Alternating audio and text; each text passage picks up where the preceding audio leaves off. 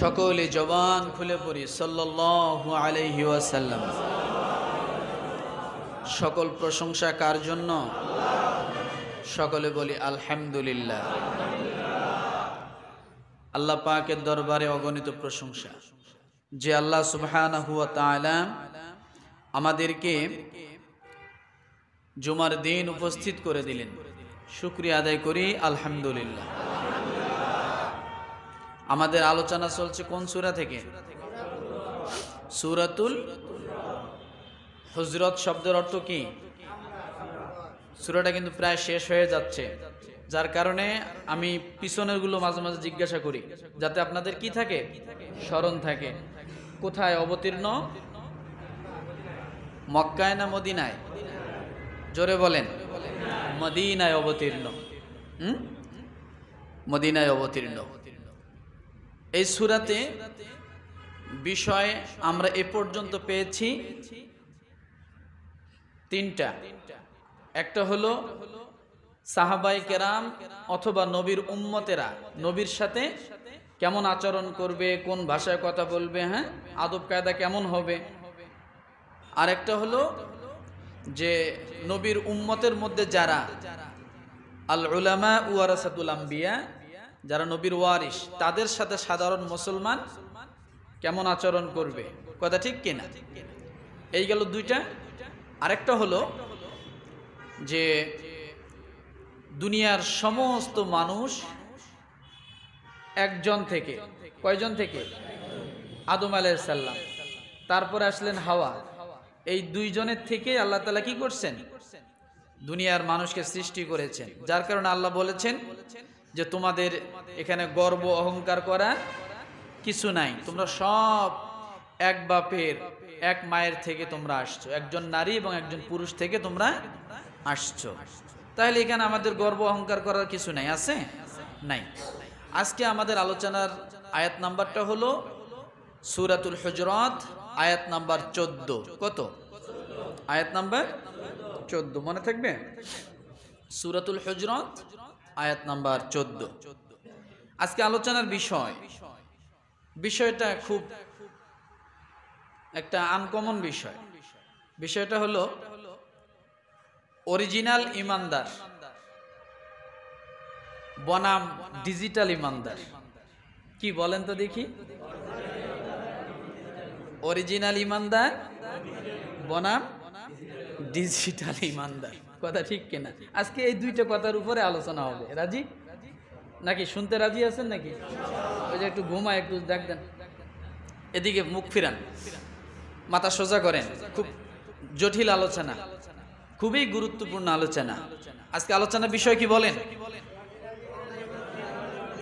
Original ইমানদার digital ইমানদার original মুসলমান বনাম ডিজিটাল মুসলমান মনে থাকবে আল্লাহ পাক রব্বুল আলামিন বলেন قالت الأعراب آمنا قل لم تؤمنوا ولكن قولوا أسلمنا ولما يدخل الإيمان في قلوبكم وإن تطيعوا الله ورسوله لا يلتكم من أعمالكم شيئا إن الله غفور رحيم একসঙ্গে। ঠান্ডা দিন ঠান্ডা দিন, শরীর যাতে ঘাম আসে। কথা ঠিক কিনা? শরীর যাতে কি হয়? গরম হয়। আল্লাহ রব্বুল আলামিন বলেন, নবীজি আপনি মরুবাসীরা কি বলে শোনেন? কে বলছে কথা? বেদুইনরা কি বলেছে? বেদুন শব্দের অর্থ কি বলেন তো? বেদুন শব্দের অর্থ কি? ইসলাম ছাড়া। কাফের মুশরিক। বেদুন শব্দের অর্থ হলো গ্রাম্য লোক। কি বলেন তো? গ্রাম্য মানুষ। বলে না আমরা গ্রামের মানুষ। ওরা শহরের মানুষ। এই যে গ্রাম এবং শহর পার্থক্য করতে যায় কি বলেছে? বেদুন। পুরা আরবটাই মরুভূমি। পুরা আরবটাই কি? মরুভূমি কথা ঠিক কিনা? কিন্তু গ্রাম্য মানুষ, অনেক প্রত্যন্ত গ্রামের থেকে যে মানুষগুলো আসে তাদের কি কি বলা হতো? বেদুন। আল্লাহ পাক রব্বুল আলামিন বলেন, গ্রামের থেকে কিছু সংখ্যক বেদুন সাবি চলে আসলেন, বেদুন মানুষ চলে আসলেন। মরুভূমিবাসী কিছু দূর দূরান্ত থেকে আল্লাহর নবীর কাছে আসলেন।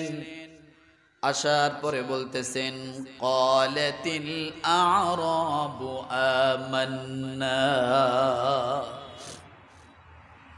আরববাসী, একটা গোত্র। আরবু আমান্না। আল্লাহ তালা বলেন, এই মরুবাসীদের কথা আল্লাহ তুলে ধরছেন। আজকে অনেক কথা আমাদের জীবনের সাথে হয়তো চলে আসতে পারে। কেউ আবার রাগ করবেন না কিন্তু। আগে থেকে রেডি হয়ে যান। ওই রকম মন মানসিকতা আছে? শোনার মতো? মন খারাপ করবেন না তো? আবার কারও মাথার উপর দিয়ে গেলে বলবেন যে, হুজুর, আমাকেই টার্গেট করে কইল। এরকম? না। বেদুনরা বলল, আমরা ইমান এনেছি। আল্লাহ নবীর সামনে এসে হয়তো তারা তারা কালেমা গ্রহণ করেছিল। অথবা কিছু সংখ্যক সাহাবাই কেরামের সামনে কালেমা পড়ে সাক্ষী বানায় আল্লাহর নবীর কাছে এসে বলছেন, আমরা ইমান এনেছি। কি এনেছি বলেন? আমরা ইমান এনেছি। তারা মুখে মুখে জবানে জবানে পড়েছে, আশহাদু আল্লা ইলাহা ওয়া আশহাদু আন্না মুহাম্মাদান আবদুহু ওয়া রাসূলুহু ওই মরুবাসীরা কালেমা পড়েছে আল্লাহ নবীর কাছে এসে বলছেন, ইয়া রসুল আল্লাহ আমরা ইমান এনেছি ইমান গ্রহণ করেছি। আল্লাহ পাকের হাবিবের সামনে যখন এই কথা বললেন আল্লাহ পাক রব্বুল আলামিন কি বলেন? উল্লাম তুমিনু। নবীজি, আপনি বলে দেন, তোমরা ইমান আনোনি। কে বলছে কথা? আল্লাহ তার রসুলকে জানায় দিচ্ছেন, রসুল যে মরুবাসীরা, গ্রামের লোকেরা, আপনার সামনে যে বলছে, আমরা ইমান এনেছি। আল্লাহ আবার জানায় দিলেন তার রসুলকে, রসুল তো জানেন না। আল্লাহ জানায় দিলেন ও নবীজি, উল্লাম তুমিনু, আপনি জানায়া দেন যে তারা কখনোই ইমান আনে নাই। তাহলে মরুবাসী বলছে, আমরা ইমান আনছি। রসুলের সামনে মনে করেন কালেমা পড়েছে, ধরেন। কিন্তু তারা এখন দাবি করতেছে কি, আমরা কথা বলে না, জবান খুলতে হবে এখানে। তারা বলছে, আমরা ইমান এনেছি। তারা যখন রসুলের সামনে সেই দাবি করল, আমরা ইমানদার। আল্লাহ তালা সঙ্গে সঙ্গে জানায় দিলেন উল্লাম তুমিনু। ও রসুল, আপনি বলে দেন, তোমরা ইমান আনোনি। আল্লাহ বলেন, ওয়ালাকিন উলু আসলাম না বরঞ্চ বলো, তোমরা আত্মসমর্পণ করেছ। কি করেছ? তোমরা ইসলাম গ্রহণ করেছ কিন্তু ইমান গ্রহণ করনি? কি বলেছে বলে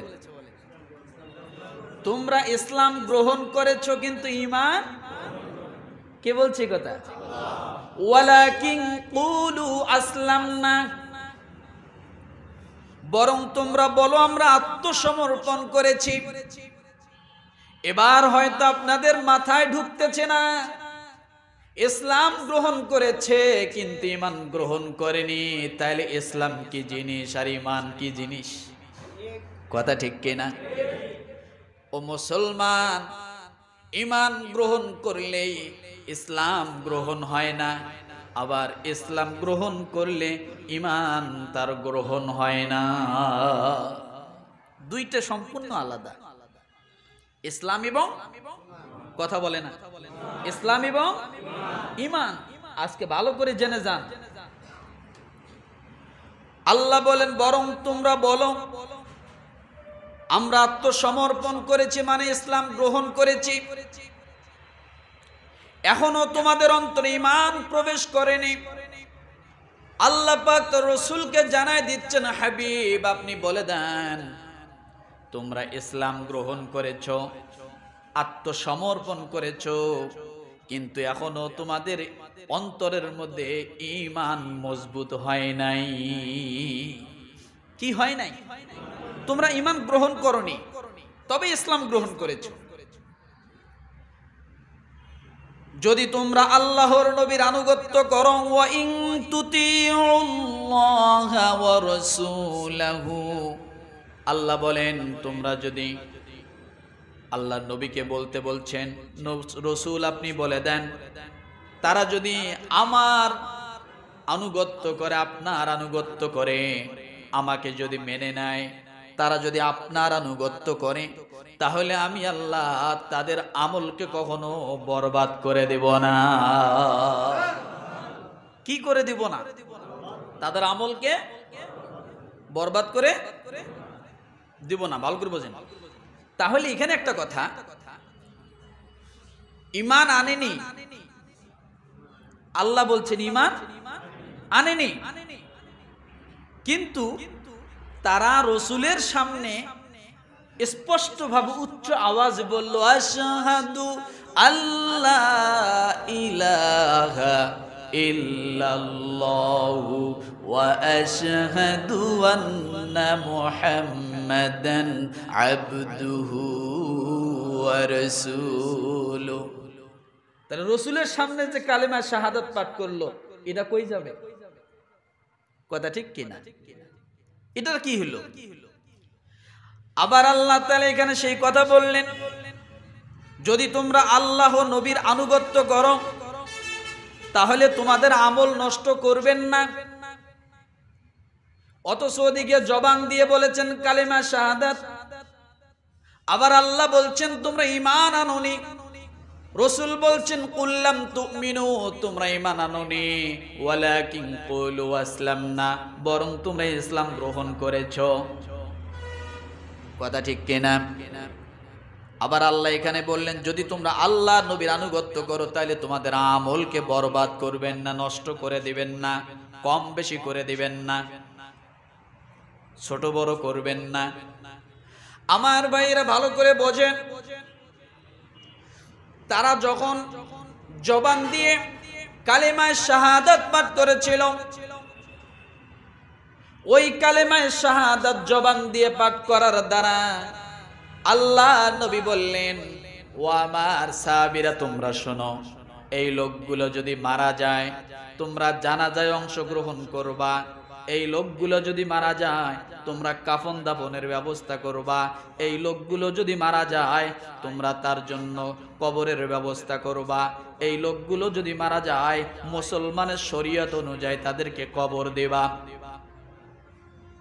কেন ওই যে জবান দিয়ে বলেছিল, আশহাদু আল্লাহ ইলাহা কালেমা শাহাদত পাঠ করেছিল এই জন্য যার কারণে আজকে আমাদের সমাজে অনেক ইসলাম বিরোধী, আল্লাহ বিরোধী, নাস্তিক, মুরতাদ, কোরআন বিরোধী, আলেম বিরোধী, যারা তারাও যদি মারা যায়, আমাদের মতো এক শ্রেণির হুজুররা যায়া তাদের জানাজা দেয়, কথা ঠিক কিনা?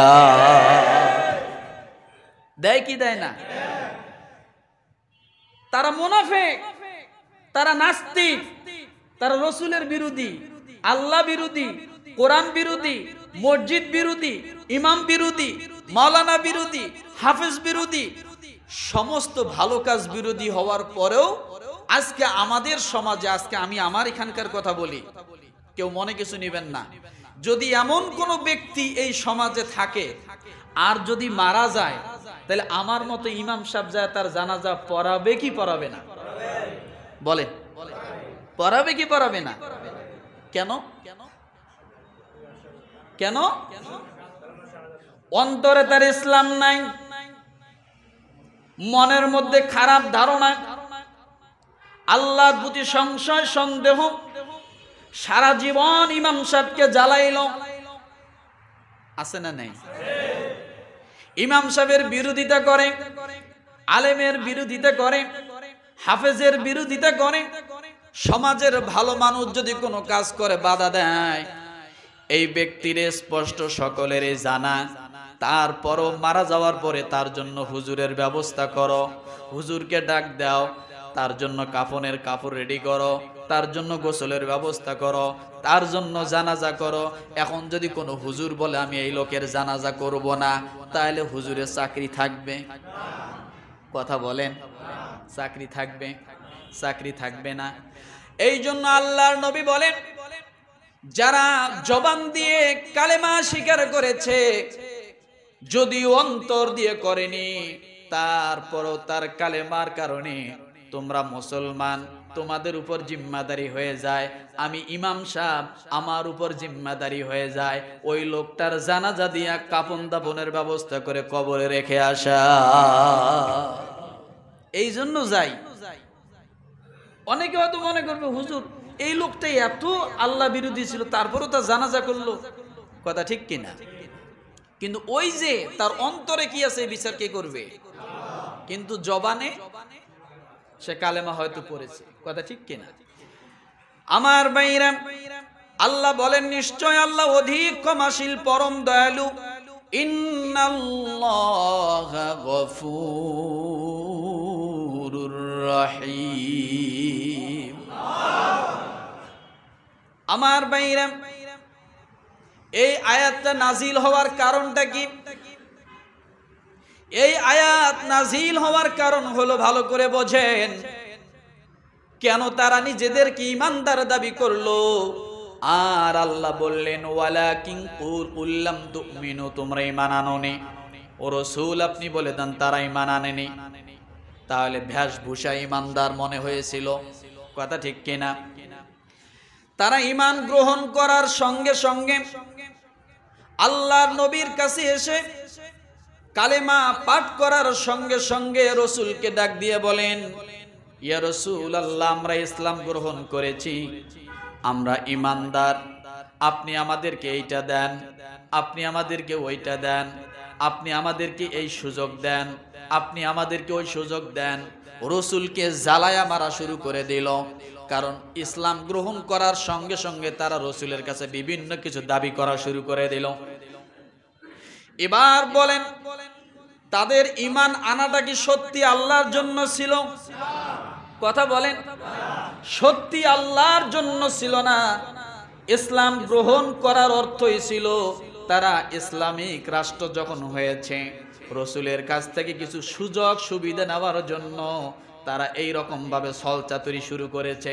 আল্লাহ রসুলের সামনে এসে কালেমা পাঠ করেছে মানে বুঝাচ্ছে, আমরা ইসলাম গ্রহণ করলাম, এখন যত সুবিধা আছে সব আপনি আমাদেরকে দেন, না হলে আমরা আবার ইসলাম থুয়ে অন্য জায়গায় চলে যাব। কি? এমন একটা ভাব দেখাচ্ছে যে আমরা ইসলাম গ্রহণ করে মোহাম্মদকে অনেক বড় উপকার করে ফেলছি। অনেক বড়? কথা বলে না? মানে তারা নিজেদেরকে অনেক বড় কিছু মনে করতেছে। আমরা ইসলাম গ্রহণ করছি, একটা ডাক ঢোল পিডাইয়া সব জায়গায় বলে বেড়াচ্ছে। আমরা ইসলাম গ্রহণ করেছি, এই করেছি, সেই করেছি। আপনি আমাদেরকে এই সুযোগ দেন, ওই সুযোগ দেন। বর্তমান সমাজে এরকম আছে না নাই? হ্যাঁ? আছে না? অনেক মানুষ হজ করতে যায় সাত লক্ষ টাকা লাগে হজ করার জন্য বর্তমান সময়। সাত লক্ষ টাকার কথা মায়া করে না, কিন্তু যায় একমাত্র আলহাজ লাগানোর জন্য। হজ থেকে আসার পরে দেখবেন হাজি সাহেবের গরমের জ্বালায় রাস্তায় হাঁটা যায় না। আমি সৌদি আরবে এই দেখলাম, সেই দেখলাম। দীর্ঘদিন শুধু সৌদি আরবের গুণগান হজেই করেছি, সেই করেছি। এরপরে মানুষের কাছে বিভিন্ন জায়গায় বলে বেড়ায়, আমি হজ করেছি। তার মানে বুঝাইতে চাচ্ছে যে আমি হজ করে আল্লাহর বড় উপকার করে দিয়েছি। নাকি? এরকম নাই সমাজে? আছে? আছে না? আমি হজ করে বড় উপকার করেছি। আল্লাহর অনেক বড় উপকার করে দিয়েছি। বাস্তব জীবনের কথা আরও আগে মনে হয় বলেছিলাম। দীর্ঘ অনেক বছর আগের কথা, প্রায় ছয় থেকে সাত সাল হবে হয়তো। একজন হাজি সাহেব হজ করে আসলো। এসে আমাকে, আমি তাকে মামা বলে ডাকতাম, সে আমাকেও মামা বলে ডাকতো। আমাকে ডাক দিয়ে বলল, ভাগনা, হজ তো করে আসলাম, মানুষ তো জানে না। একটা ওয়াজ মাহফিল দেই মানুষের সঙ্গে একটু পরিচয় হই নাইলে মানুষ শরীরের সাথে এসে ধাক্কা লাগবে, কিছুই মনে করবে না। কথাটা বোঝেন নাই?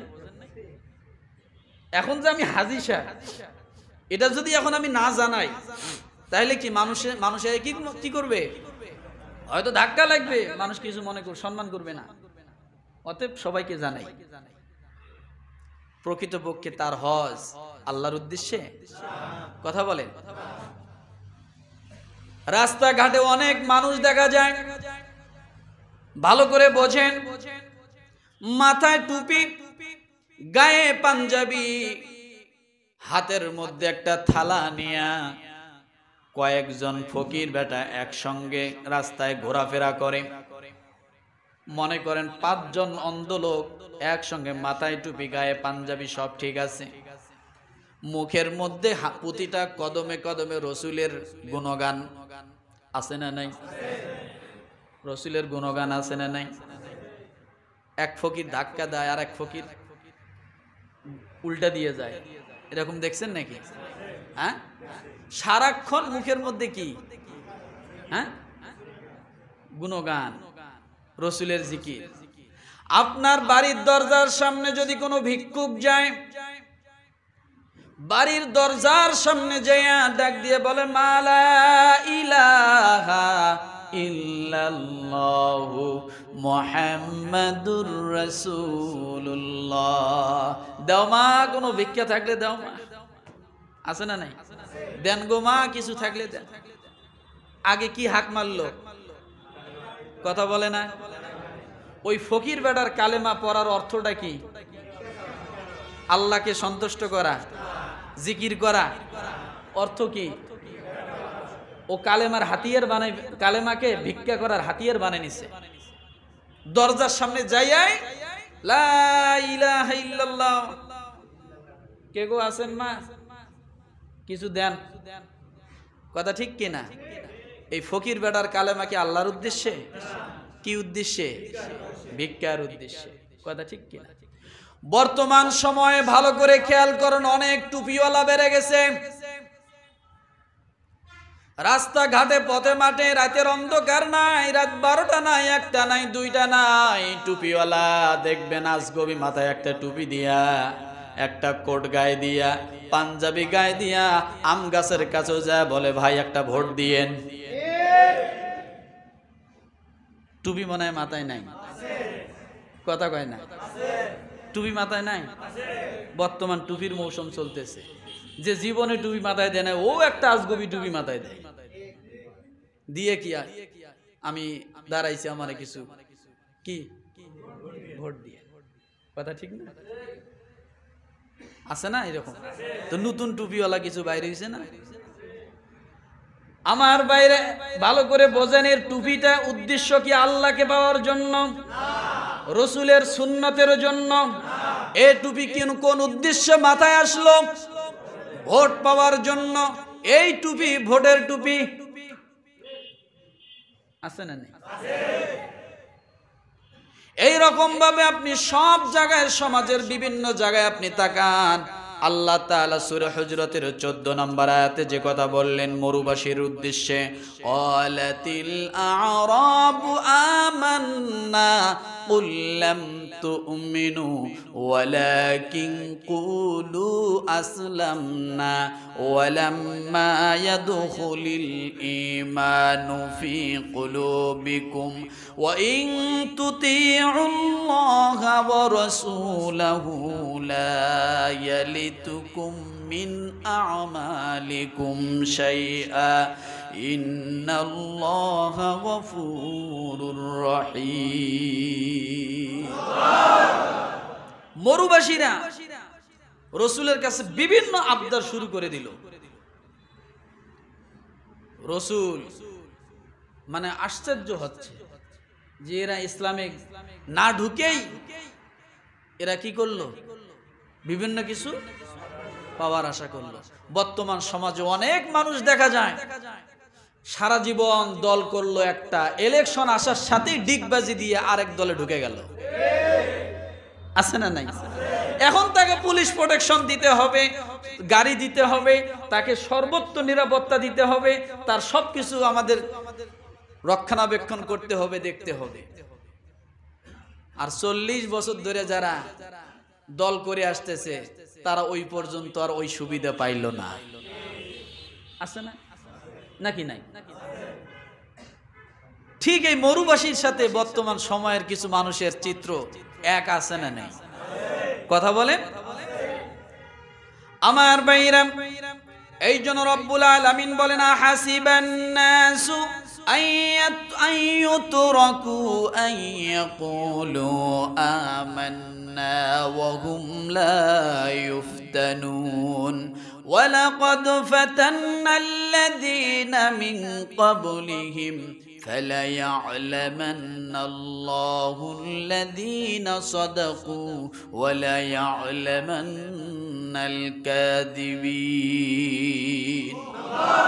সূরা আনকাবুত কোন সূরা সূরা আনকাবুত আয়াত নাম্বার 2 এবং 3 আল্লাহ বলেন মানুষ কি মনে করে যে আমরা ঈমান এনেছি এ কথা বললেই তাদেরকে পরীক্ষা না করে আমি আল্লাহ ছেড়ে দিব। আল্লাহ বলেন, মানুষ যে নিজেদেরকে ইমানদার দাবি করে, তারা যখন ইমানদার দাবি করে আর মনে করে আমাকে এই সুবিধা, ওই সুযোগ, সুবিধা দেয় না কেন? আমি ইসলাম গ্রহণ করলাম, নামাজের মধ্যে আসলাম আমার এই বিপদ, ওই বিপদ কেন? আল্লাহ বলেন, এ কথা বললেই তাদেরকে আমি পরীক্ষা না করে কোনোদিন ছেড়ে দিব না। কারণ তুমি ইসলাম গ্রহণ করেছ ইমান গ্রহণ করেছ তার মানে এই নয় যে তুমি দুনিয়ার মধ্যে জান্নাতি অবস্থানে থাকবা কারণ দুনিয়াটা জান্নাতের জায়গা না এটা হলো অবশ্যই একটা পরীক্ষার জায়গা الذي خلق الموت والحياة ليبلوكم أيكم أحسن عملا وهو العزيز الغفور অবশ্যই এটা পরীক্ষার হল। দুনিয়াটা কি? কথা বলেন। অনেক মানুষের এই অভিযোগ আছে না নাই? যে হুজুর, আমি এত নামাজ পড়ি, এত রোজা করি, হজ করি জাকাত করি, দান করি, আমার মোটে বিপদ যায় না। কথা ঠিক কি না? আমার বিপদ যায় না। এই অভিযোগটা কিন্তু আমাদের আছে। আমি বলি, ভাই, স্কুলের যে ছেলেটা ভালো, ব্রিলিয়ান্ট ভালো মেধাবী, ভালো ছাত্র যে সব সময় এক রোল করে আসে, ওর দিকে শিক্ষকের নজর একটা না কয়েকটা। কথা ঠিক কিনা একটা না কয়েকটা। ও স্কুলে যতক্ষণ থাকে শাসনে থাকে, ও যখন বাড়িতে যায়, মা বাবার শাসনে থাকে, ও যখন বাহিরে বাইর হয়, প্রতিবেশীর শাসনে থাকে, যে ছেলেটা যাতে নষ্ট না হয়। যার কারণে সে মন চাইলেই তার ভালো কিছু সে করতে পারে না। অর্থাৎ তার মন চাই জিন্দিগি সে পালন করতে পারে না। পারে? আল্লাহ বলেন যে তোমরা তোমরা বলবা যে আমি ইমান এনেছি আর অটোমেটিক তোমরা পার পেয়ে যাবা বলে না। কারণ আল্লাহ হজরতে বেলালের কথা জানায় দিয়েছেন, আমি বলেছিলাম হজরতে বেলাল রাদিয়াল্লাহু ইমান আনার পরে তার ইমান কেমন ছিল? যে যখন উমাইয়া জানতে পারলেন ইমান আনছে, জানার পরে হজরতে বেলাল রাদিয়াল্লাহু তাআলাহুকে নির্যাতন শুরু করে দিল। আর নির্যাতনের মাত্রা কেমন? হজরতে বেলাল রাদিয়াল্লাহু তাআলাহুর পায়ের মধ্যে রশি বাঁধলো। পায়ের মধ্যে রশি বেঁধে এরপরে তেজস্ব ঘোড়ার পায়ের মধ্যে রশি বাঁধল। বাঁধার পরে মরুভূমির উত্তপ্ত বালুর মধ্যে ঘোড়াকে হাকায়া হাকায়া দৌড়ানো ভাবে চালায় নিত। আর এদিকে হজরতে বেলাল রাদি আল্লাহুর পিঠের চামড়া বালুর সঙ্গে খসে খসে পড়ে যেত। তারপরেও আহাদ আহাদ আহাদ শব্দ তার মুখ থেকে কখনো যায় না। ইমানদার তো সেই ব্যক্তি। হাজার কষ্ট আসবে, হাজার দুঃখ আসবে, হাজারো যন্ত্রণা আসবে, হাজারো বিপদ আসবে, হাজারো পরীক্ষার সম্মুখীন হবে, রাইফেলের সামনে আসবে, কামানের সামনে আসবে, অ্যাটম বোমার সামনে আসবে, স্বৈরাচারের সামনে আসবে। তারপরও এক চুল পরিমাণ আমার আল্লাহর বিধান থেকে সে নড়বে না। এক চুল পরিমাণ নড়বে না, এটার নাম ইমানদার। যার কারণে আল্লাহ মরুবাসীদের কথা বললেন, উল্লাম তুমিনু, তোমরা যতই ইমান দাবি করো না কেন, রসুল আপনি বলে দেন তার ইমান আনে নাই। কারণ তাদের ইমান হলো কচু পাতার পানির মতো। সুবিধা পাইলে আসি, সুবিধা পাইলে কি, না পাইলে কি? সুবিধা না পাইলে ছেড়ে দিয়ে যাব। আমাদের সমাজের কিছু মুসল্লিদের মতো। যখন বিপদে পড়ে মসজিদে আসে। আসার পরেও যখন কয়েকদিন আসতেছে, তাহাজ্জুদের সময় ফজর পড়তে আসে, নামাজের আগে আগে আসে আসে, পড়তেছে, বিপদ যায় না, দুই দিন পরে আর মসজিদে আসে না। নামাজ পড়ে লাভ কি? আমি এত কান্দি, তারপরেও আল্লাহ শোনে না। কথা ঠিক কিনা? আপনি কি কাঁদছেন? সাহাবাই কেরামের জীবনীতে আপনি দেখেন, কান্না কত ছিল। জান্নাতের সার্টিফিকেট পাওয়ার পরও তারা কেঁদেছে। তাম দুনিয়া অর্ধেক ভাগ করে অর্ধ জাহানের বাদশাহ ছিলেন হজরত উমর। খেলাফত পাওয়ার পরও, খলিফা হওয়ার পরও, আমিরুল মোমিন হওয়ার পরও, রাষ্ট্র শাসন পাওয়ার পরেও তার কান্না কিন্তু কখনো থামে নাই। কান্না থামছে? তার কান্না থামেনি। আঠার বস্তা নিজে পিঠে করে নিয়ে দুস্থ মায়ের ঘরে যে রান্না করে খাওয়ায়। কেন? যদি আমাকে আল্লাহর কাঠগড়ায় দাঁড়াতে হয়, সেদিন আমি কি জবাব দিব? তাদের জবাবদিহিতার অবস্থাটা কি ছিল? এবার ভালো করে বোঝেন। আর আমরা সুবিধা পাইলে আসি, সুবিধা না পাইলে এমন কিছু মুসলমান বর্তমান বিভিন্ন দলের ভিতরে আছে না নাই? সুবিধার জন্য নাজায়েজকে জায়েজ বলতেছে। সুবিধার জন্য পাঁচাটা গোলাম হয়ে গেছে। আছে না? ও মুসলমান, এরা যখন সুবিধা থেকে বঞ্চিত হবে, দেখবেন ওই মুখ দিয়ে আবার তাদের বিরুদ্ধের কথা চলে আসবে। আছে? আল্লাহ পাক রব্বুল আলামিন সেই কথা বললেন। মানুষ কি মনে করে যে আমরা ইমান এনেছি? এ কথা বললে তাদেরকে পরীক্ষা না করে ছেড়ে দিব। আল্লাহ বলেন, আমি তো এদের পূর্ববর্তীদেরকেও পরীক্ষা করেছি। আল্লাহ অবশ্যই জেনে নেবেন কারা সত্যবাদী এবং তিনি অবশ্যই প্রকাশ করে দিবেন কারা মিথ্যাবাদী। কারা সত্যবাদী, কারা মিথ্যাবাদী, আল্লাহ সব খুলে দিবেন, সব প্রকাশ করে দিবেন। তাহলে একটাবার ভাবুন আমরা কেমন মুসলমান। আমাদের ভিতরে এই রোগগুলো আছে কিনা একটু একটাবার ভাবুন। হ্যাঁ? আমাদের ভিতরে রোগগুলা আছে।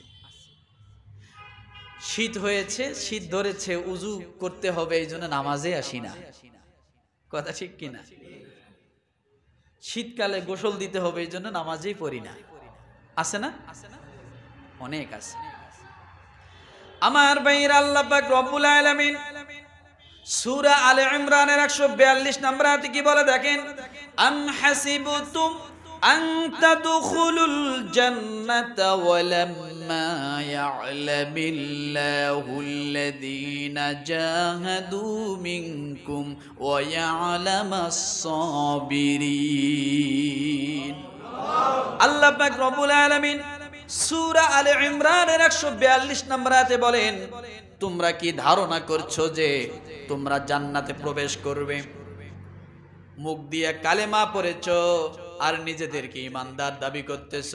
আর মনের মধ্যে আত্মতৃপ্তি লাভ করতেছো যে তোমরাই জান্নাতি।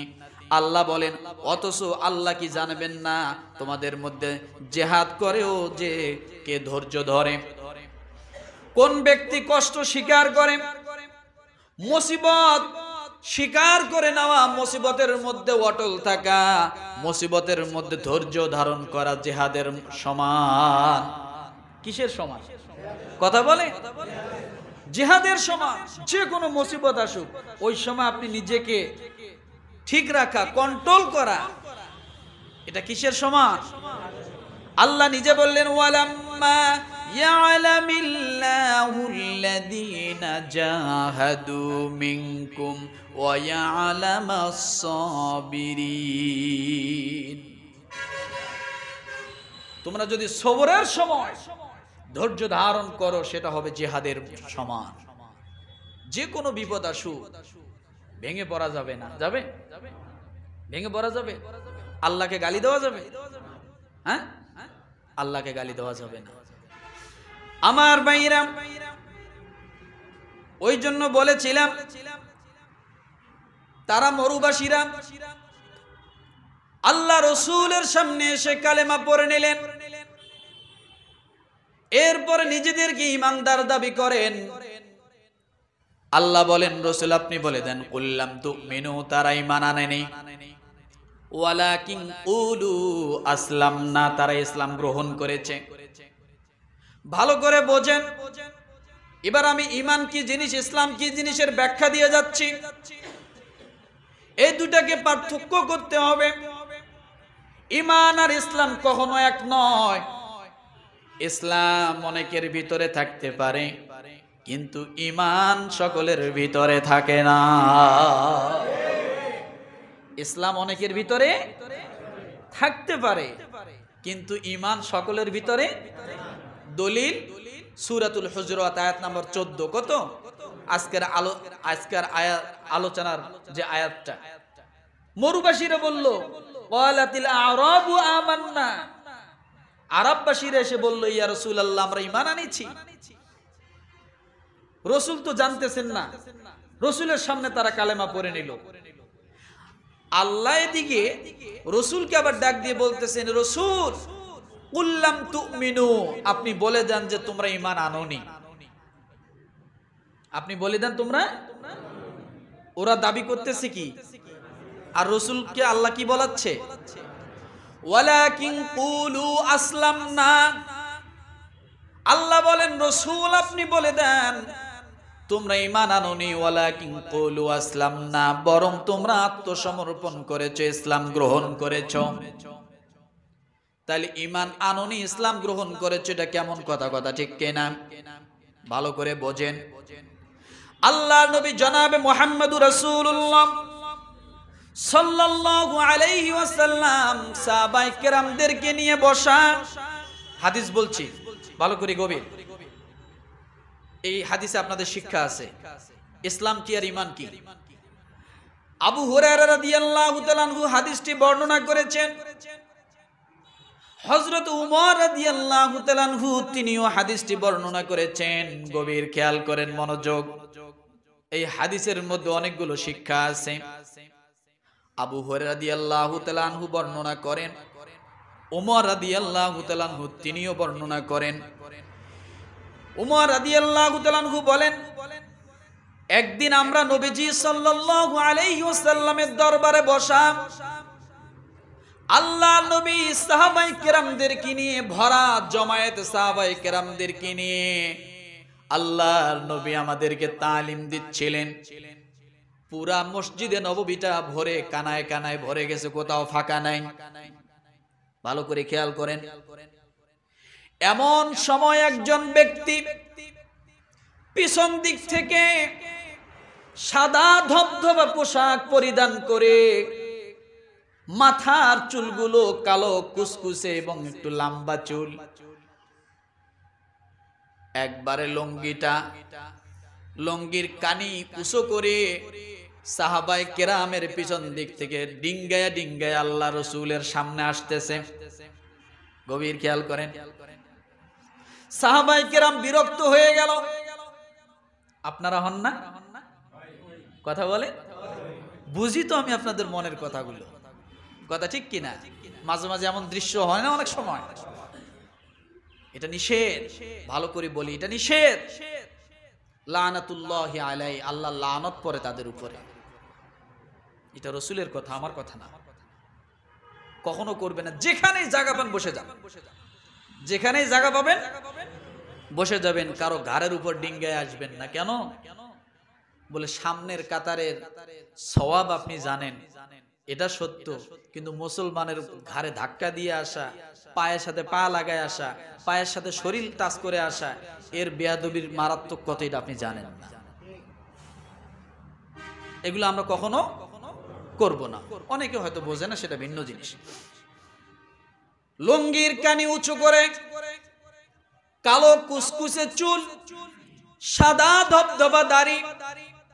এমন একজন ব্যক্তি রসুলের সামনে একবারে চলে আসলেন, কেমন সামনে? আল্লাহ নবী মনে করেন নামাজের সুরতে বসা, নামাজ শেষ করেছেন। সাহাবাই কেরামকে নিয়ে আল্লাহর নবী বক্তৃতা দিচ্ছেন, তালিম করতেছেন। আল্লাহর নবী তাসাহুদের সুরতে বসা, এমন সময় ওই ব্যক্তি পা পা করে চলে আসলো। সব সাহাবাই কেরামকে সরায় দিয়া একবারে সামন থেকে আসলো। বলেন, ওই মজমার মধ্যে রাগী সাহাবি হজরত উমর আছে না নাই? অনেক কয়েকজন সাহাবি রাগী।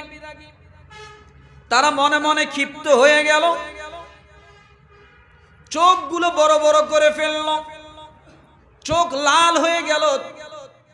আজকে তুমি কতক্ষণ পর্যন্ত রসুলের সামনে থাকবা? কোনো না কোনো সময় তো বাইরে হবা, তোমার বারোটা বাজাবো। তোমার অবস্থা খারাপ আছে।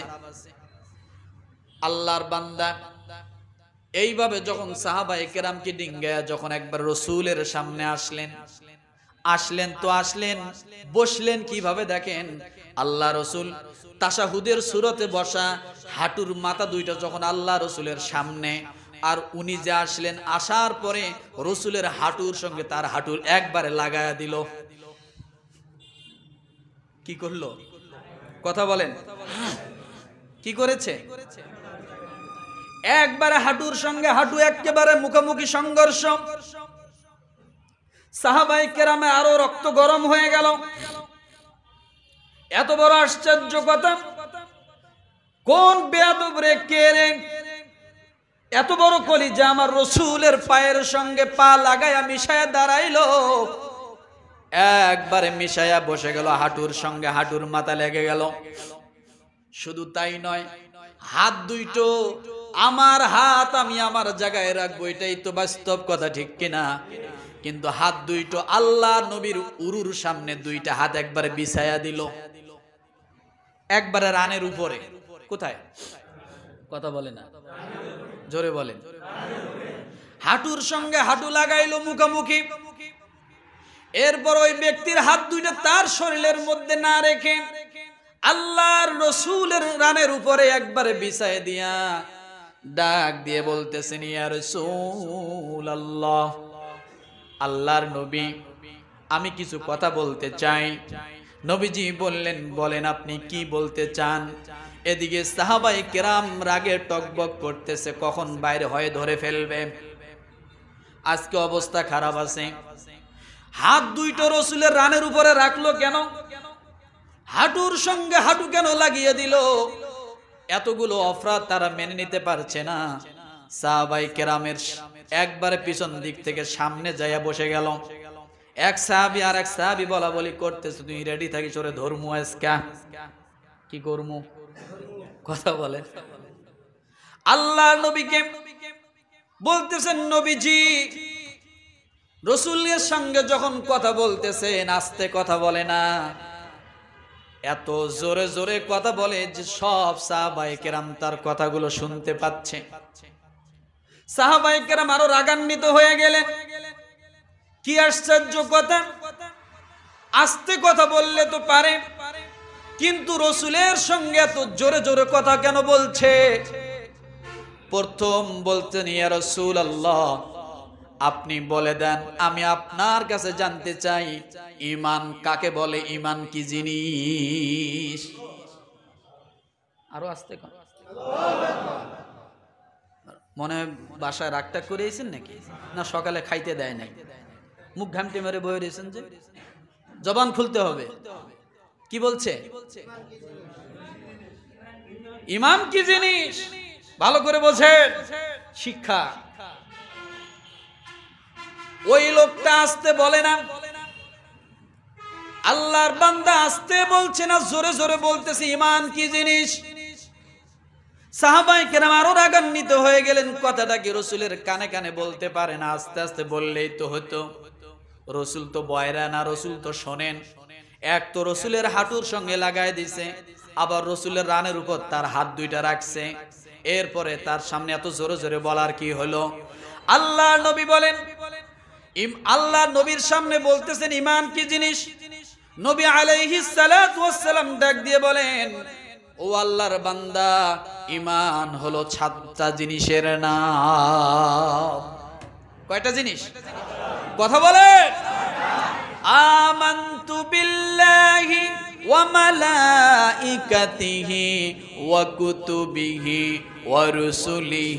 ওয়াল ইয়াউমিল আখিরি ওয়াল কদরি খাইরিহি ওয়া শাররিহি মিনাল্লাহি তাআলা ওয়াল বা'সি বা'দাল মাউত।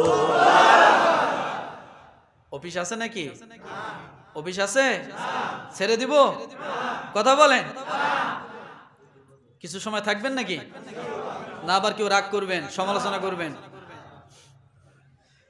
আমার বাইরে আল্লাহ নবী বললেন, সাতটা জিনিসের নাম ইমান ইমান হলো বিশ্বাস রাখবেন আল্লাহর প্রতি। ওই ব্যক্তি যেমন জোরে প্রশ্ন করেছেন যত আওয়াজে আল্লাহ নবী তার থেকে একটু জোরে আওয়াজ দিয়ে আরও বলে। সাহাবাই কেরাম আশ্চর্য হয়ে গেলেন। প্রশ্নকারী যেমন জোরে বলে, রসুলও তার থেকে একটু জোরে বলতেছে, ঘটনাটা কি কিছুই বুঝলাম না। রসুল তো আসতে বললেও পারে, রসুল তো স্বাভাবিকভাবে এত জোরে কথা বলে না, কিন্তু আজকে কেন এত জোরে জোরে কথা বলে? এক নাম্বার ইমান হলো বিশ্বাস রাখবেন আল্লাহর প্রতি, দ্বিতীয় নাম্বার বিশ্বাস রাখবেন ফেরেস্তাদের প্রতি। এরপরে তৃতীয় নাম্বারে বিশ্বাস রাখবেন আল্লাহর কিতাবের প্রতি, কোরআনের প্রতি, তাওরাত, জবর ইঞ্জিলের প্রতি। এরপরে বলা হয়েছে চতুর্থ নাম্বারে, দুনিয়ার সমস্ত নবীদের প্রতি তোমরা বিশ্বাস রাখবা, কারণ নবীদেরকে সরাসরি আমার আল্লাহ তাআলা দুনিয়াতে নবী বানায় আছেন কথা ঠিক কিনা পঞ্চম নাম্বারে, কেয়ামতের দিন তার সঙ্গে সাক্ষাৎ করতে হবে। এই কেয়ামতের দিনের উপর বিশ্বাস রাখতে হবে।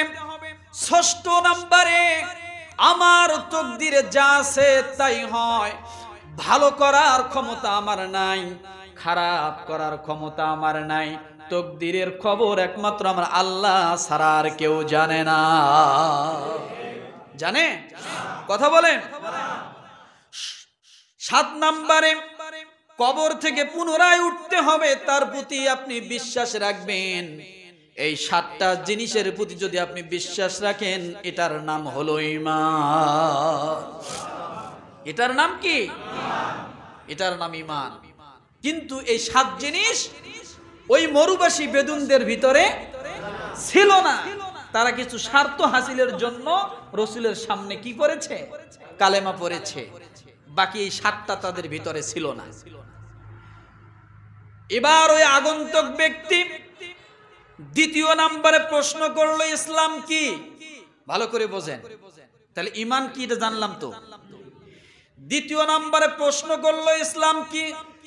ওই আগের মতোই জোরে প্রশ্ন করল। নবী বললেন, আপনি সেরেক মুক্ত আল্লাহর ইবাদত করবেন। কারণ পাঁচটা জিনিসের নাম হলো ইসলাম। কয়টা জিনিস? কয়টা জিনিস? মূল বিষয় হলো পাঁচটা, কিন্তু শাখা প্রশাখা অগণিত রয়েছে। কারণ ওই যে একটা গাছ, গাছকে দেখা যায়, একটা গাছ যদি আপনি রোপণ করেন আর যদি চিন্তা করেন, এই গাছে একটা পাখি বসবে এই গাছের ফল থেকে একটা পাখি খাবে, এই গাছের ছায়া একটা পাখি আরাম করবে। আপনি গাছ গাড়লেন তো ইসলামের কাজ করলেন, গাছ গাড়াটা ওই সময়ের জন্য, ওই নিয়তের জন্য হবে ইসলাম। রাস্তা দিয়ে হাঁটেন, কলার চোখলা আপনার সামনে আছে।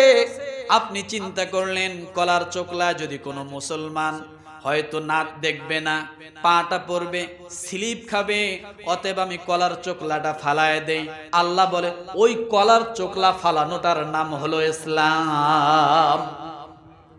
এরকম হাজার আছে। মূল কয়টা? কথা বলে। আগন্তুক ব্যক্তি প্রশ্ন করলেন, ইসলাম কি? নবী বলেন, আপনি সেরেক মুক্ত আল্লাহর ইবাদত করবেন। আপনার ইবাদতের মধ্যে ভোটের উদ্দেশ্য থাকবে না। আপনার ইবাদতের মধ্যে ভিক্ষা উদ্দেশ্য থাকবে না। আপনার ইবাদতের মধ্যে মানুষকে দেখানোর উদ্দেশ্য থাকবে না। কথা ঠিক কিনা? فمن كان يرجو لقاء ربه فليعمل عملا صالحا ولا يشرك بعبادة ربه أحدا আল্লাহর নবী জোরে জোরে বলছেন আপনি ইবাদত করবেন সেরেক মুক্ত দ্বিতীয় নম্বরে আপনি নামাজ প্রতিষ্ঠিত করবেন সুখে থাকেন, দুঃখে থাকেন, যে অবস্থায় থাকেন, নামাজ ছেড়ে দিবেন না। যত অবস্থায় থাকেন না কেন, নামাজ ছেড়ে দিবেন না। গাড়িতে যাচ্ছেন গাড়ি দাঁড়ানো যাবে না, দাঁড় করানো যাবে না। আপনি সিটের মধ্যে বসে আল্লাহ একবার বলে আপনি নিয়ত করে যান। সেজদা জমিনে দিতে হবে না, সেজদা আপনি সিটের পিছনের মধ্যে দেন। সে সুযোগ যদি না থাকে, শুধু মাথাটা হালিয়ে দেন। আল্লাহ তাআলা আপনার জন্য নামাজটাকে কবুল করে নেবে। আপনি নদীতে সাঁতার কাটেন। আজানের সময় হয়েছে, মাছ ধরতে গিয়েছেন, আজানের সময় হয়েছে। আপনি তখন নিয়ত করেন ওই নদীর মাঝখানে। আমি জোহরের চার রাগাত ফরজ নামাজ আদায় করি, আল্লাহু একবার এই কথা বলে আপনার হাত বাঁধতে হবে না, আপনি সাঁতার কাটতে থাকেন। সাঁতার কাটাটাই হবে আপনার জন্য জোহরের নামাজ। মনে থাকবে? জি? তৃতীয় নাম্বারে বলা হয়েছে, আপনি ফরজ জাকাত সঠিকভাবে আদায় করবেন চতুর্থ নম্বরে রমজান মাসের সিয়ামগুলো পালন করবেন। পঞ্চম নাম্বার বলা হয়েছে, আপনি হজে যাওয়ার সামর্থ্য হলে তখন আপনি হজ করবেন। এই পাঁচটি কাজ হলো ইসলাম। আপনি যদি এই এই পাঁচটি কাজ যে ব্যক্তি করবে, সেই ব্যক্তি ইসলাম পালন করল। এবার বলেন, সেই মরুবাসীরা কি আল্লাহর নবীর পিছনে নামাজ পড়েনি? কথা বলেন। মরুবাসীরা রসুলকে দেখায় দেখায় কাজ করেছিল, নামাজ পড়েছিল, কিন্তু তারা ইসলাম পালন করেছিল। আল্লাহ বলেন কুল্লাম তুকমিনু রসুল, আপনি বলে দেন, তারা ইসলাম পালন করওয়ালা কিংকুলু আসলাম না। তারা আত্মসমর্পণ করেছে, কিন্তু তারা ইমান আনে নাই। এখনও আমাদের সমাজে, আমার এই মসজিদের কথাই বলি, একটা ছেলে একদিন ডাক দিয়ে বলে, হুজুর আমি একজন হিন্দু লোকের সন্তান। কি লোকের সন্তান? আমি একজন হিন্দু ঘরের সন্তান। আমি একটা হিন্দু ঘরের ছেলে। কিন্তু হুজুর, আমি এলাকার মধ্যে থাকি। কিন্তু যখন আজান হয় আর জুমার দিন যখন আপনি বয়ান করেন, আমি ঘরে থাকতে পারি না। আপনার পিছনে এসে আমি নামাজে দাঁড়া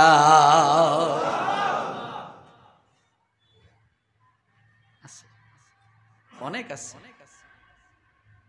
তাই বলি কি সে ইমানদার? তাই বলি সে ইমানদার?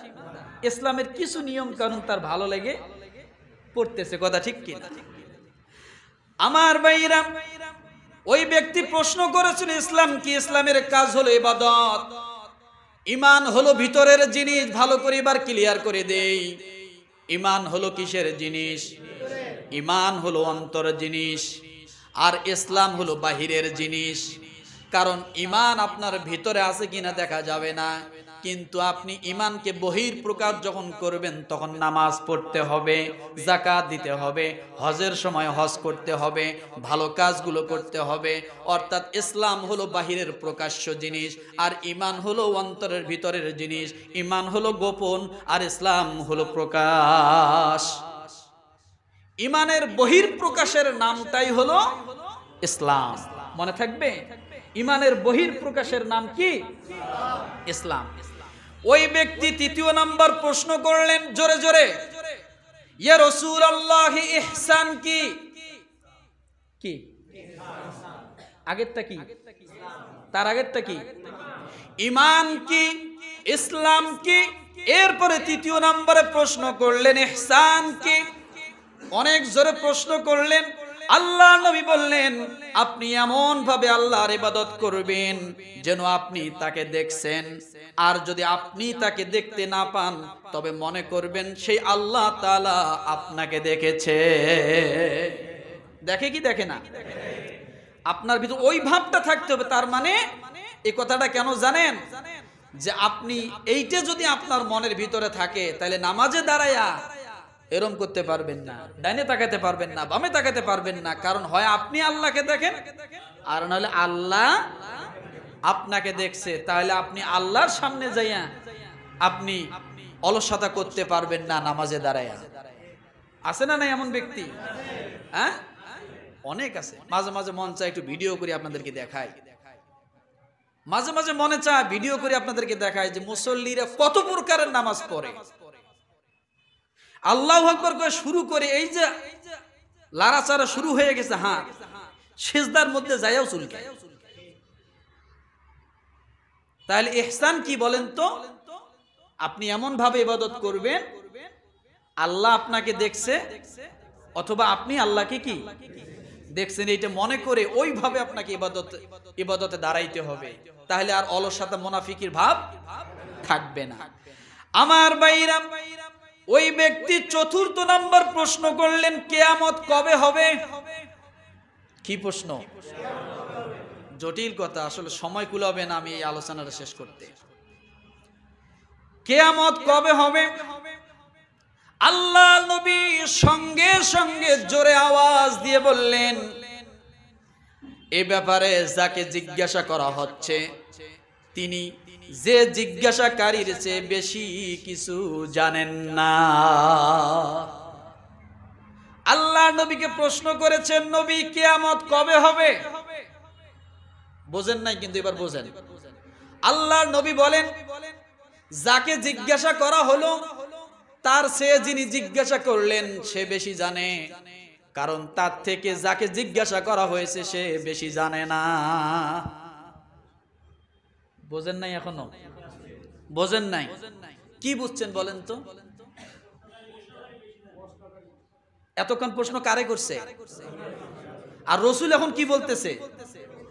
যে যাকে প্রশ্ন করা হয়েছে, তার থেকে যিনি প্রশ্ন করেছেন, সেই বেশি জানে, আমি জানি না। বলেন।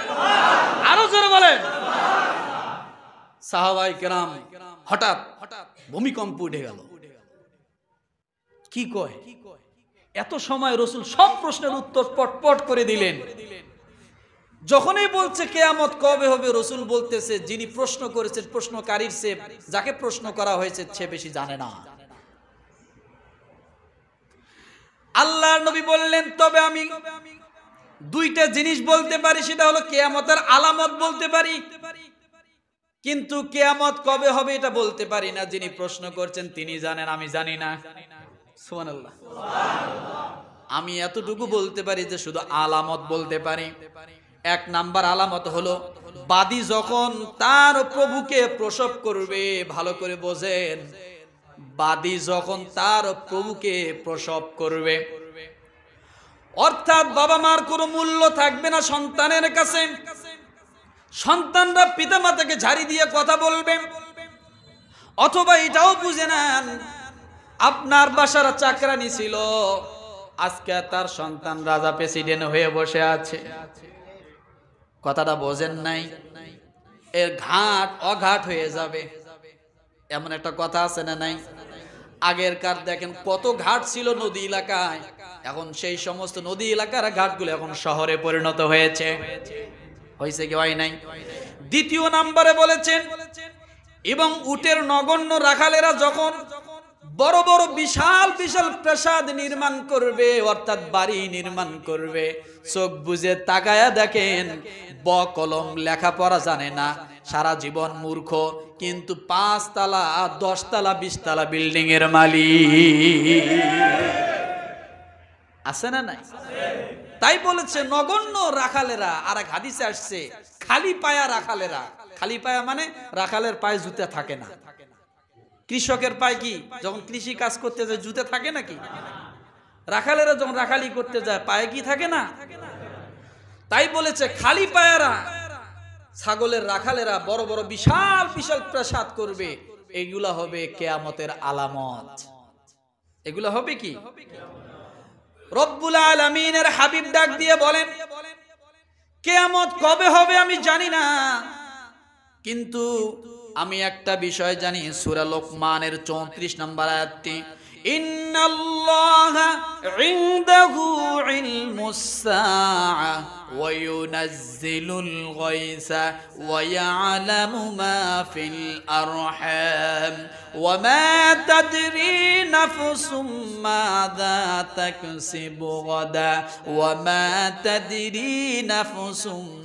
ওয়া মা তাদরি নাফসুম بأي أرض تموت إن الله عليم خبير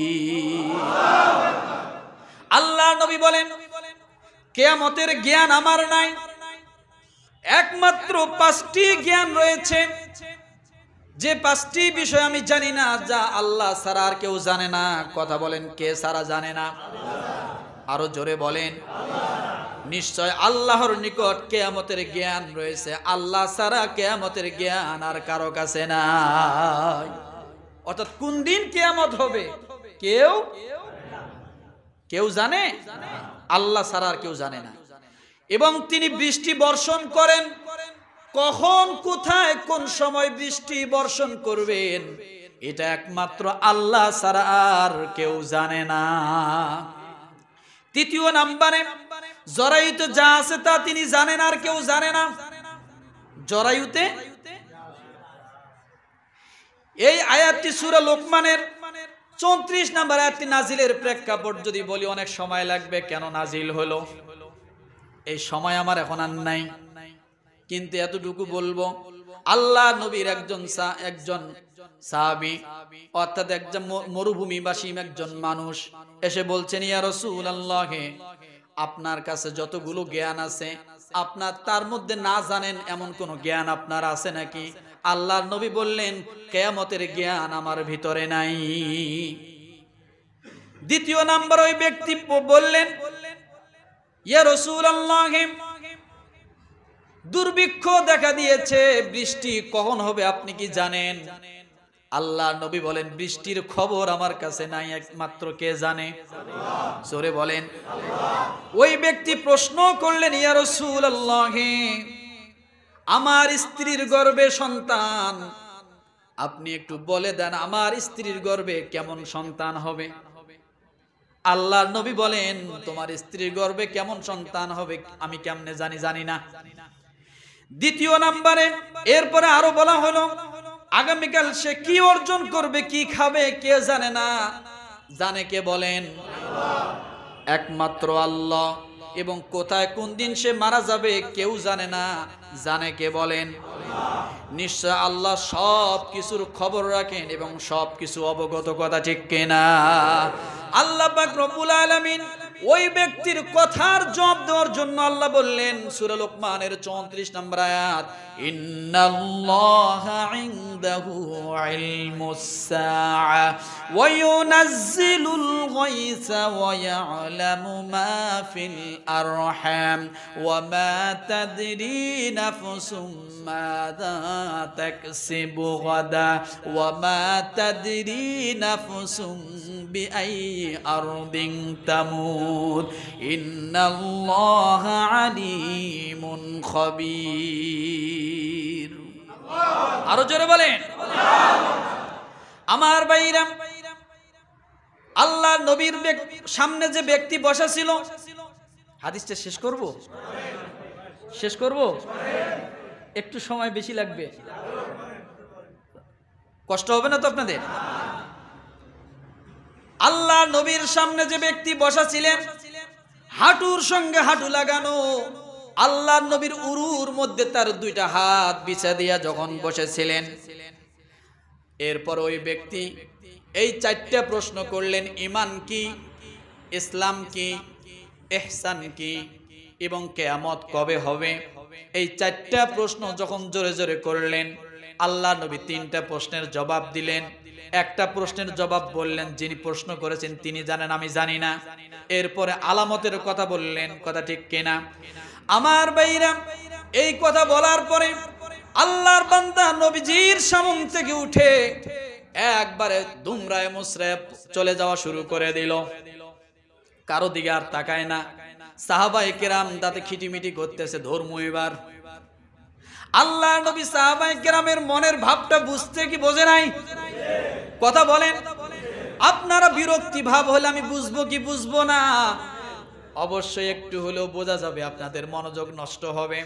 কথা বলবেন, ডানে তাকাবেন, বামে তাকাবেন। মনটা খিটখিটে হয়ে যাবে, বুঝব আমি আপনারা বিরক্ত। আল্লাহর নবীর সাহাবিদের মনের মধ্যে রাগ, গোসা একবারে ফেটে যাচ্ছে। লোকটা এত বড় কাজ করল, তাকে কোনোভাবেই ছাড় দেওয়া যায় না। আল্লাহ নবীর সামন থেকে যখন ব্যক্তি যখন উঠে, একবারে কারও দিকে আর তাকায় না, আবার ওইভাবে যেভাবে এসেছিল সেইভাবে বাইর হয়ে যায়। আল্লাহ নবী ডাক দিয়ে বলেন, ও আমার সাহাবীরা, বুঝ- বুঝতে পেরেছি। তোমরা অনেক রাগ করেছ, অনেক গোসা হয়েছ। তোমাদের মন চাচ্ছে লোকটাকে একটু ধরার জন্য। লোকটাকে একটাবার ধরে নিয়ে আবার আমার কাছে নিয়ে আসো, আমি একটু কথা বলি। এই পাইল সুযোগ আর কোনো কথা নাই। সাহাবাই কেরাম মসজিদ থেকে বাইরে হয়ে আল্লাহ নবীর মজমা থেকে বাইরে হয়ে যখন সাহাবাই কেরাম দেখতেছে লোকটা হন হন করে জোরে জোরে ডানে তাকায় না, বামে তাকায় না, একবার ছোটা শুরু করে দিছে, লঙ্গির কানি উঁচু করে একবারে ছোটা শুরু করে দিছে। আল্লাহ নবী যখন বলছেন, লোকটাকে ধরে নিয়ে আসো। সাহাবাই কেরাম দৌড়ায়, কিন্তু লোকটাকে ধরতে পারে না। যখন দৌড় দিয়ে যায়, যখন বলতেছে, ভাই, একটু দাঁড়াও, তোমার সঙ্গে কথা আছে। যখন এই লোকটা পিছন দিকে ফিরে তাকাইছে, এরপরে যখন শরীরের সঙ্গে একটু টাচ লাগছে, হঠাৎ করে দেখে লোকটা ওখানেই নাই। আর আসতে কর। আরও আসতে বলে? আরও আসতে! ধরতে যায় দেখে লোকটা নাই। আল্লাহর নবী বলে দিছে, লোকটাকে ধরে নিয়ে আসবে। মসজিদ থেকে বাইর হয়ে বিপদে পড়ে গেল, এখন খালি হাতে যাই কেমনে? মাথা নিচু করে ওখানে বসে চিন্তা করে। আসতাম না, তাই ভালো ছিল। কথা ঠিক কিনা? এখন রসুল যদি বলে, লোকটা কই? তাহলে মনে করবে যে আমরা তারাই দিছি আরও। আল্লাহ নবীর সামনে যখন মাথা নিচু করে যখন সাহাবিরা চলে আসলেন, আল্লাহর নবী মুস্কি মেসে, মুস্কি হেসে দিয়ে ডাক দিয়ে বলে, লোকটা কই? তাকে আমার সামনে নিয়ে আসো। আল্লাহর নবীর সামনে ডাক দিয়ে বলেন, ইয়া রাসূল আল্লাহ লোকটাকে ধরতে পারলাম না। লোকটা হঠাৎ করে আমাদের সামনে নাই। আল্লাহ নবী ডাক দিয়ে বলেন, ও আমার সাহাবীরা, তোমরা শোনো তোমাদের সামনে যে ব্যক্তিটা এসেছিল তিনি অন্য কেউ নয় তিনি হলেন জিব্রাইল আলাইহি একমাত্র এই সময় আসার কারণ হলো তোমাদেরকে জিব্রাইল দিন শিখাইয়া গেল। কি শিখাইয়া গেল? কি শিখাইয়া গেল? তোমাদের কাছে দিন শিক্ষা দিয়ে গেল। দিন কি জিনিস তোমাদেরকে বুঝাই দিয়ে গেল। আল্লাহ আকবার। তাহলে আজকে জানলাম, আরও অনেক কথা, এত কথা বলতে পারব না। জানলাম ইমান কি? কথা ঠিক কিনা? ইমান ইসলাম এক নয়। ইসলাম বাহিরের জিনিস, দেখানো জিনিস, দেখার জিনিস। ইমান দেখার জিনিস নয়। এটা তাকওয়ার মাধ্যমে প্রকাশ পায়। কিসের মাধ্যমে? যেমন হজরতে বিলালের জবান থেকে প্রকাশ পেয়েছিল, বিলালকে যখন টানা হেসরা করতেছিল, কাফেররা মারতেছিল, তখন বিলাল আহাত আহাত বলেছিল, এটা তার জবানের কথা নয়, এটা তার হৃদয়ের থেকে ইমানের আওয়াজ। কিসের আওয়াজ?